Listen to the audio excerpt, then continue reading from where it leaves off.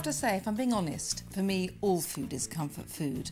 But there are times when, because of work or the pressures of life, you really need a bowlful of something warm and familiar or a slice of something sweet just to make you feel the world is a safer place.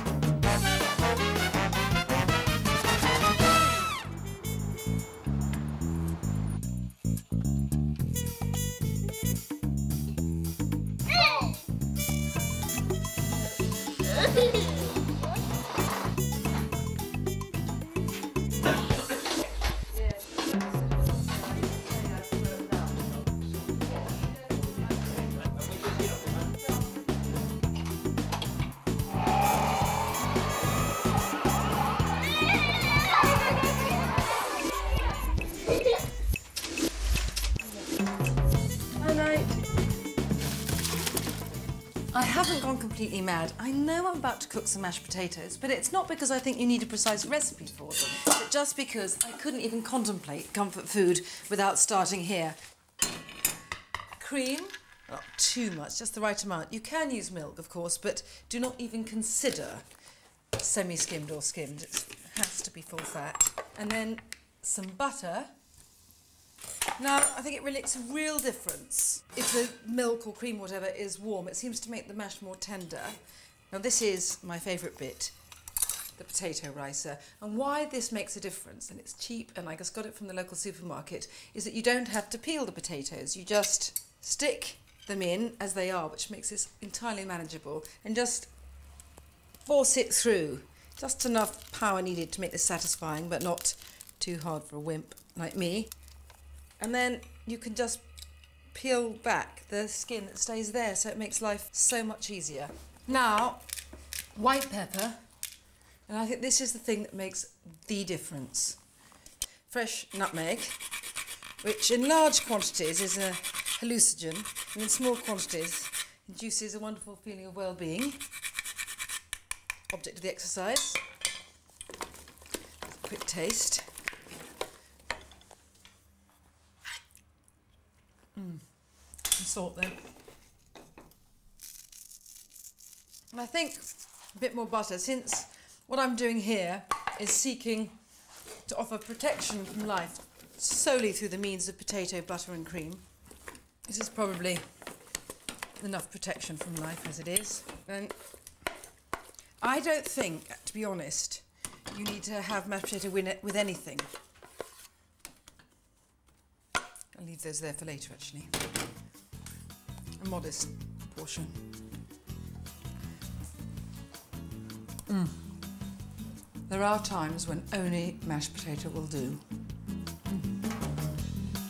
Now, the thing about cold mashed potato is that it doesn't taste so good reheated, but it makes really good fish cakes. This is tinned salmon, and actually they taste more like nursery food, and it's that that's so comforting. Anyway, children love them too, which is good. Just an egg,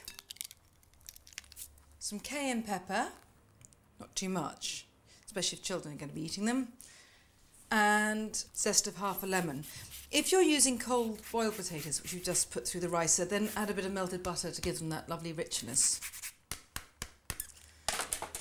And just mix together. Any drawback of canned salmon is it does smell a bit like cat food, but it just tastes so delicious that you just have to uh, suffer this bit. And form them into patties, or about the size of, you know, your palm. It's not rocket science. You can make them whatever size you want.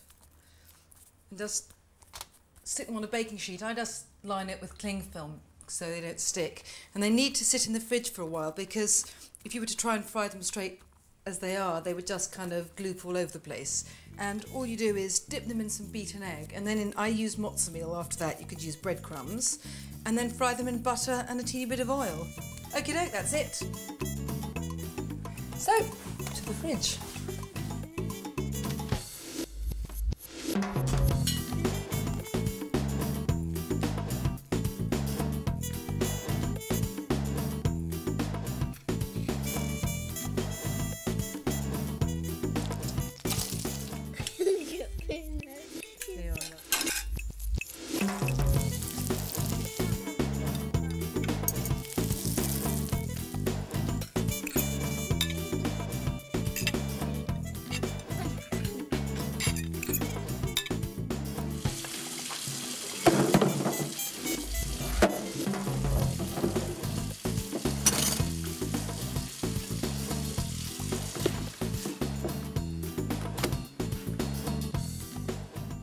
Just couldn't sleep securely in my house at night unless I have a store cupboard banked with food.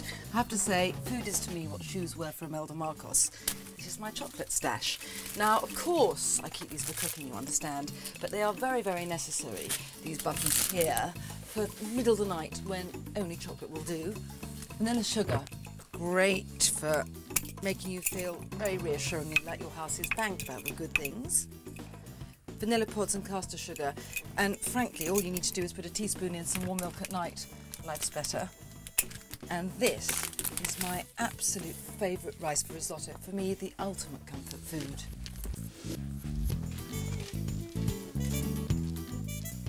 And you know, it's not just that risotto is comfort food, I think it's comfort cooking. And I know that a lot of people make a fuss about making risotto and worry about, you know, when it's the right stage and is it too finicky. But I have to say, I find mindless repetitive activity, this is what this is, just stirring, immensely comforting. If you can't get shallots, don't worry, just use the white part of some spring onions. Chop these as finely as you've got patience for. I mean, you can use a processor, it just seems a bit mad to give yourself that washing up just for a bit of shallot and celery. Talking of which, I know that a lot of people don't like celery, but what I would say is this won't make the risotto taste of celery, it just gives it a sort of mellow herbalness and a lightness that makes such a difference. Perfect. Right, butter. Bit of oil, this is ordinary olive oil, not extra virgin. And that will stop the butter from burning. And rice, this is lovely stuff, like of flat pearls. 300 grams. Now, there is a kind of direct ratio, obviously, between the amount of rice and stock, and for that 300 grams, I want a litre of stock, by which I mean water from a recently boiled kettle with some of these vegetable stock granules, which are incredibly good. Now, this wonderful celery and shallot mixture. It won't sizzle much because I don't want this to cook over high heat. I want it to stay pale and I want it not to harden, just cook into kind of mellow flavour. And what you can do, if you don't want onions to burn, is just sprinkle some salt on top and the salt releases the liquid inside the onion and that stops it from colouring. It might sizzle a bit uh, just a minute after as the water goes into the butter, but that's fine. And now just tumble in the rice, stir around. The idea here is that the rice gets covered in this vegetably butter, it gets slicked and glossy, and then when you start ladling in the stock, it will start to swell and absorb all the stock, and then it starts giving off that wonderfully starchy, creamy quality that turns this into risotto. Right.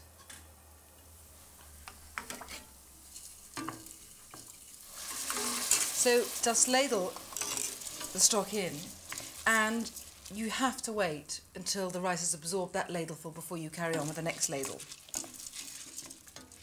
Now after the rice has absorbed, you know, about three or four ladlefuls, you can start sort of swashing a bit more in and it doesn't matter if you don't keep stirring all the time. You can just get on with anything nearby. You can't leave it. But...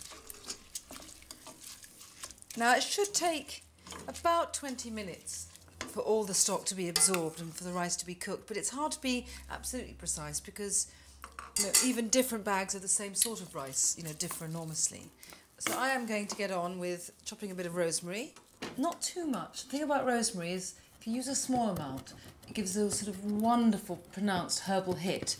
If, however, you go just slightly overboard, you just get soapiness.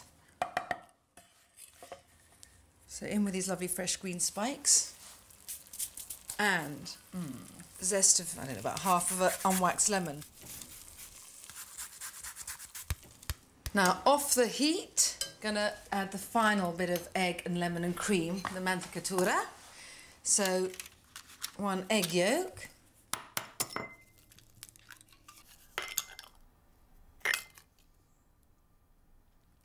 Doesn't matter if there's a bit of white to it, you just don't want too much. Cream. And this is wonderful, really kind of balances the sharpness of the lemon later parmesan, just wonderful pale curls of it.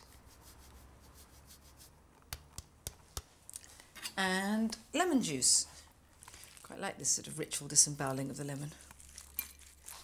Oh, and then whisking it turns it into this wonderful primrose emulsion. And then stir in this, and it turns this rather sort of pale rice into this extraordinary kind of blonde risotto. And just stir it until it's so wonderfully soupy all'onda, the Venetians call this. It means with a wave to it. Perfect.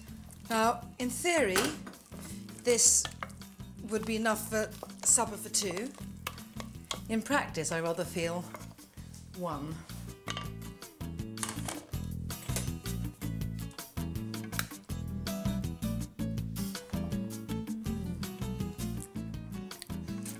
This, you know the world is a better place.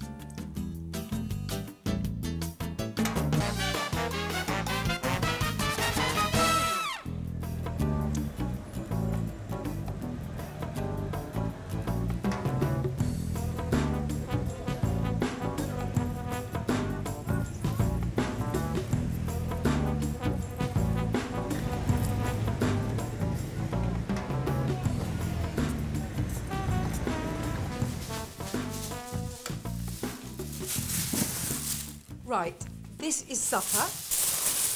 And what I love about this is that it's incredibly simple. It's just sweet potato, ordinary potato, peppers, garlic, onion, chopped up, not peeled, in a roasting tin, and then when everything's cooked, a bit of halloumi cheese just sliced on top. So you can be as tired as you probably are and still cope with this. Because ordinary potato takes longer to cook than sweet potato, the, the ordinary white potato should be a bit smaller. So do this about four centimetres square. And all these vegetables, I mean, both the potatoes, even the ordinary potato, but especially the sweet potato, the red onion and the peppers are all very sweet, which I suppose is also why it's comforting. But the halloumi is incredibly salty, and the contrast between those two is just perfect.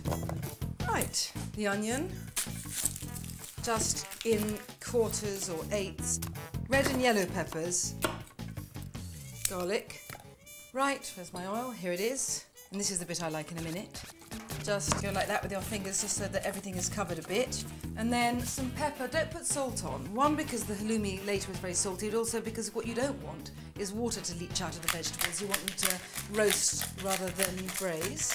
And that's sort of three quarters of an hour in a fairly hot oven.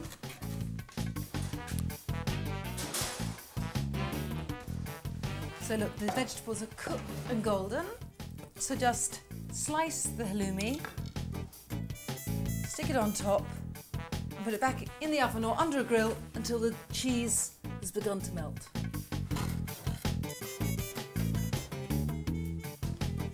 So the halloumi is blistered and brown, and a bit of parsley just to add oomph, and eat it straight out of the pan.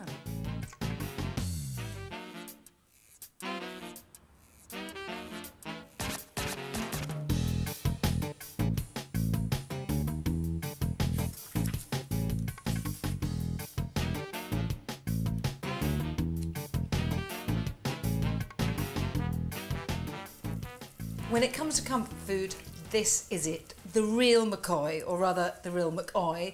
It's a chicken soup, Jewish penicillin, soother of life, restorative broth, feet, very important part. This is a boiling chicken. It looks scraggy, but there is so much more flavour in it. All I've done with this is boil it, some salted water, for about two and a half hours with carrots, onion, not even peeled, bay leaves, celery, parsley stalks and some peppercorns. What I like is to have this very clear soup and in it some dumplings, not any old dumplings, knedlach. And these are just dumplings made with matzo meal, which is a sort of cracker crumbs, egg, and although in this context, believe me, stodge is good, uh, in order to make the dumplings really sort of fluffy as they can be, you need to whisk this egg very, very well. And next comes crucial ingredient, schmaltz. Now, schmaltz is just chicken fat. Otherwise, you can use goose fat. Uh, really, if you're not going to go on either of those ones, it should be margarine. I prefer butter, which is absolutely in um, conflict with every Jewish dietary law, so it's up to you. But a couple of tablespoonfuls of the soup stock or water, I mean, whatever. Salt and pepper. And then 100 grams of matzo meal. You just whisk in. Now, you want this mixture to be firm enough to make little dumplings out of, but just with a bit of stickiness so that they're going to be lighter. They need to be in the fridge for half an hour to an hour to firm up. And this is about the right texture here. So just stick these in the fridge and in half an hour we can make our knedler.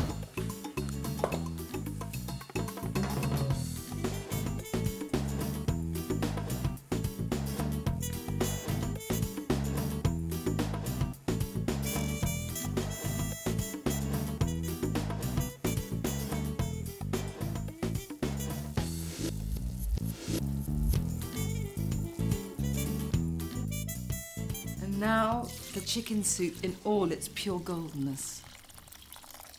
Now, I'm sieving it through some kitchen towel just to remove any excess fat. What you can do, and I tend to do normally, is just cook it the day before and then put it in the fridge and you just kind of skim off the fat because it solidifies on top. There were some scientific tests of chicken soup recently which showed that it actually did possess anti-inflammatory and antibacterial properties, although do have to say that the true believers, and I mean that in the culinary rather than devotional sense, need no outside corroboration. You just have to taste this, even just look at it to know that it's going to do you good. Now for my little dumplings, or not so little, the knedlers do swell as they cook. And they've had about 20 minutes simmering in salted water. They float to the surface when they're cooked in any way. They start looking kind of fluffier and just ready to be eaten. Mm. These little babies going in. Oh. If you wanted not to bother with the knedler bit, just put in some cooked noodles or rice. Ah, oh, this is it. Now look, look at this, golden ladleful.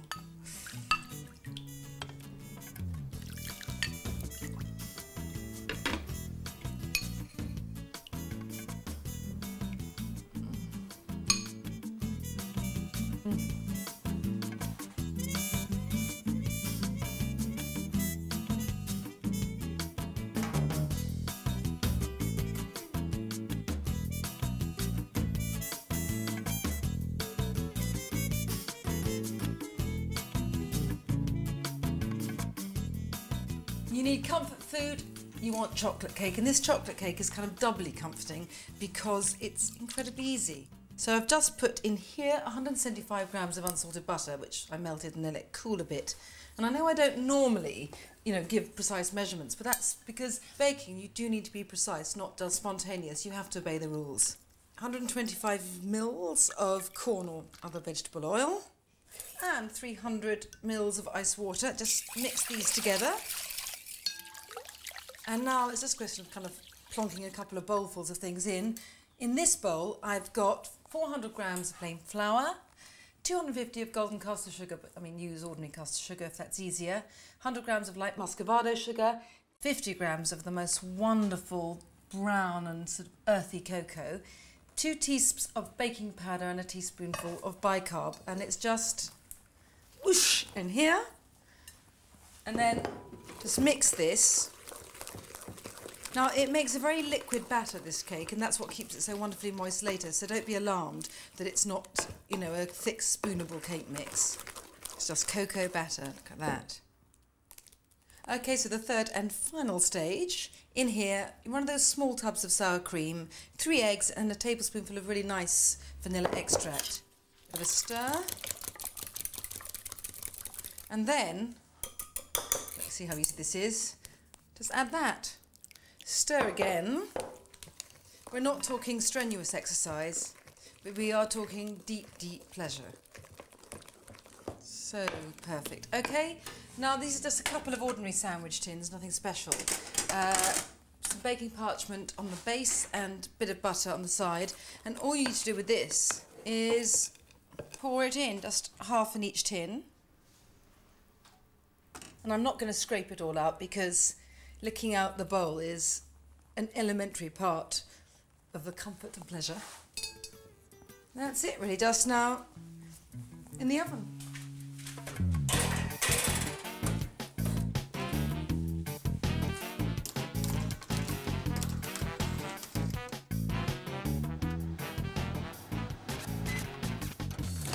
To ice a chocolate cake, you need a really good chocolate icing, and this, of course, is the fundamental part. It's melted. Now, I melt chocolate in the microwave because it's kind of easy, about three minutes, a medium, and I use these chocolate buttons. One, because they're very good, but also because then I don't have to chop the chocolate before I stick it in. And what makes this icing very fudgy is a modest amount of butter, packet, has to be soft, has to be unsalted, and 275 grams of icing sugar has to be sieved so the icing is smooth. Just add it gradually, spoonful by spoonful. So these cakes on the cooling rack had about, I'd say, mm, just under an hour in a 180 degree oven. And what you'll notice is the centres are still slightly soft, but the cakes will be springing away from the tins on the outside. And you need to let them cool thoroughly because otherwise the icing will just melt.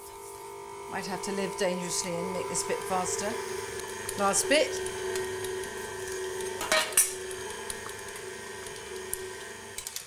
Going to have a bit of a scrape down. It's worth being patient here simply because you want the icing to be really smooth. All I need now is some good vanilla extract. No synthetic essence, please. And this chocolate, which has cooled slightly so it won't make the butter greasy. Look at this. Mm. River of chocolate.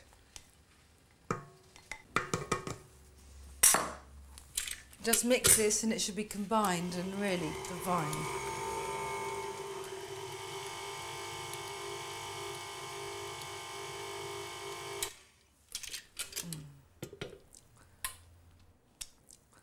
Perfect. You've been chucked, this is the cake you want to eat, all of it.